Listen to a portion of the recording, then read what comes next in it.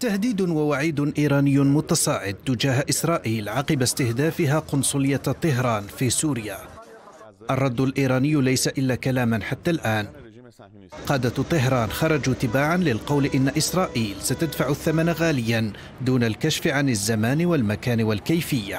المرشد الإيراني علي خامنائي أراد وضع اليد على الجرح. غرد باللغة العبرية على منصة إكس قائلا إن إسرائيل ستندم عقب الهجوم على القنصلية الإيرانية. هذه هي المرة الخامسة التي يغرد فيها المرشد الإيراني باللغة العبرية إذ سبق وكتب بالعبرية أيضا في العاشر من يناير الماضي أن جرائم إسرائيل لا تنسى. قبل ذلك وفي نوفمبر من العام الماضي قال إن الفضائع لن تبقى دون رد. ليس هذا فقط ففي الثالث من نوفمبر أيضا وصف إسرائيل بالعاجزة والمرتبكة.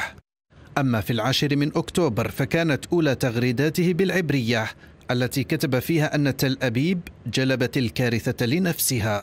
هي رسائل اختار فيها المرشد الإيراني اللغة العبرية لمخاطبة ساسة إسرائيل متوعدا إياهم بدفع الثمن. لكن هذه التهديدات بقيت في خانة الكلام فقط دون أي رد.